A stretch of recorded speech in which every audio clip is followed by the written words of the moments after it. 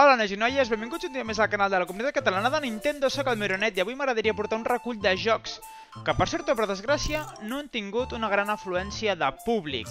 Sabem que Nintendo Switch eh, durant aquests 5 anys de mercat ha tingut jocs de plataformes, d'acció, de, de, de shooters, de lluita, una varietat completament bestial. Si crec que si dic que Nintendo Switch té 3.000 jocs, no m'equivocaré de gaire. Dit això, avui m'agradaria, com us dic, portar 5 jocs que crec que pel port, pel joc i pel que jo he pogut gaudir, doncs crec que m'agradaria eh, donar-los valor. Comencem pel començament, que és el que escolteu la, la música. Va ser un dels primers jocs exclusius uh, fora del que ens van presentar de Nintendo Switch, que va ser el Yoshi al Crafted World. La veritat és que Yoshi està en un bon estat de forma, vam tenir un bon Yoshi a Wii U i crec que hem tingut un gran Yoshi a, a, a Nintendo Switch. Me l'he passat aquest any, he anat molt tard, però l'he pogut gaudir molt. No només... Uh, pel que fa jugant individualment, sinó que també es pot jugar de forma cooperativa en local, ¿vale? i sabeu que Nintendo Switch dona molt valor al tema de, de o Nintendo en general, dona molt valor al tema de poder jugar en local, i Yoshi's Crafted World és un joc que val bastant la pena de tenir-lo, és un joc de Nintendo, són jocs que són cars, no ens enganyem, però si el trobeu d'oferta, de segona mà, si una mica el té, donant-li una oportunitat perquè la veritat és que val molt la pena, de veritat. Uh, no és un joc molt llarg, però sí que té força contingut rejugable, perquè a mesura que et vas passant les pantalles et van donant objectes a, a, a trobar i es fa bastant entretingut, la veritat. Un altre joc que considero uh, que has tingut molt poca sortida al mercat és Mario Tennis Aces. És un altre joc que jo, la veritat, l'he pogut gaudir molt, sí que és veritat que té fallos, sí que és veritat que el mode història és molt curt, però tant el gameplay com, com no sé, uh, la il·luminació del joc, uh, la fluidesa del joc va molt bé, no té cap tipus de baix. Bueno, ja sabem, Nintendo amb els jocs seus doncs li dona un mimo espectacular, no? I aquest Mario Tennis Age, la veritat és que després del cagarro que van treure Wii U, amb les... ni me'n recordo com es deia, és a dir, era nefast el de Wii U, uh, podríem dir que ja amb tot el contingut tret, perquè ja, ja no el deixaran actualitzar, hi ha poca gent en online, però encara vas trobant gent avui dia, gent molt bona, i és bastant divertit. Sí que és veritat que ells esperaven, suposo, a entrar en el món del competitiu en aquest, en aquest projecte i no els ha acabat de sortir massa bé, però creieu-me, és un joc molt interessant que si podeu tenir de segona mà o comprar-lo a la botiga amb alguna rebaixa o si algun col·lega el té, que us el deixi perquè la veritat és que està molt bé. Uh, no tota és Nintendo, Nintendo Switch, i m'agradaria donar valor a dos jocs fora de, de Nintendo. El tercer, un joc que recentment s'acaba d'actualitzar, Captain Subasa. Captain Subasa Rise of New Champions. La veritat és que em va sorprès molt.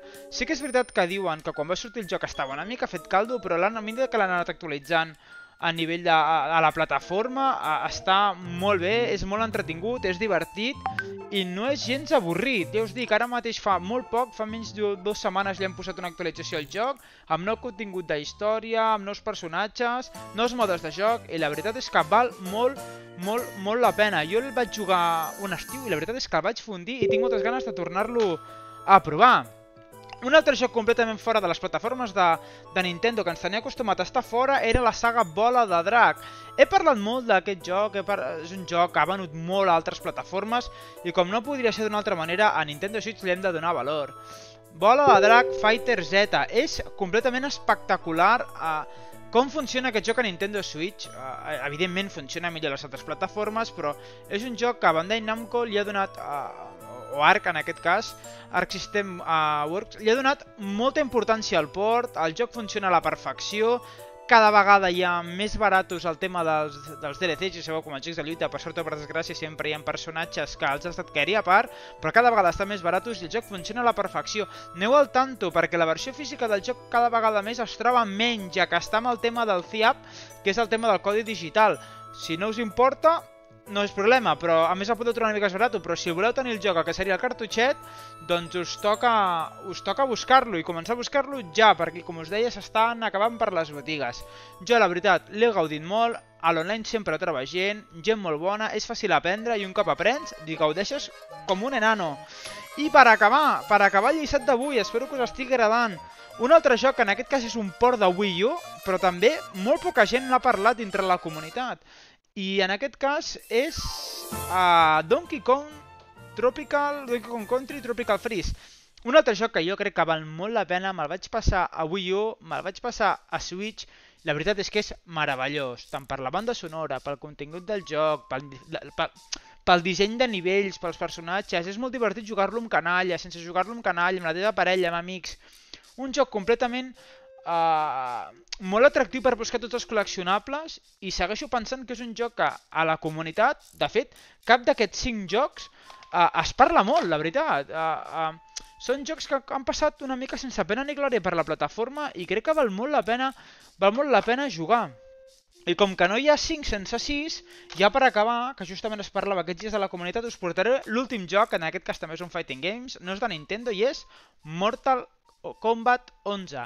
Un altre joc, en aquest cas de Warner, eh, ja tots coneixeu la saga a Mortal Kombat, que us haig d'explicar. Si no l'heu jugat fa anys, l'he jugat recentment perquè al final eh, el 10 va tenir bona sortida, l'11 ha tingut bona sortida i a més a més la versió de Nintendo Switch és una versió molt molt millorada que val molt la pena. Té tot el contingut de les altres plataformes, sí que és veritat que no té el mateix rendiment, no va 4K històries, però és un joc que tant en mode portàtil, eh, tant la història com, com, com els combats que puguis fer online es, es, són, molt, són molt agraïts de, de jugar evidentment fons, fons blancs per, per no variar. Doncs res, fins aquí el vídeo d'avui, curt i intens, espero que us hagi agradat, que li doneu una altra oportunitat. Si hi ha algun joc que creieu que ha tingut uh, poca presència uh, i considereu que n'ha de tenir més, doncs no us oblideu a posar-ho a, a la capseta de comentaris. Espero que us hagi agradat i si trobeu a faltar alguna cosa, sempre ho comenteu. Fins la pròxima, adeu!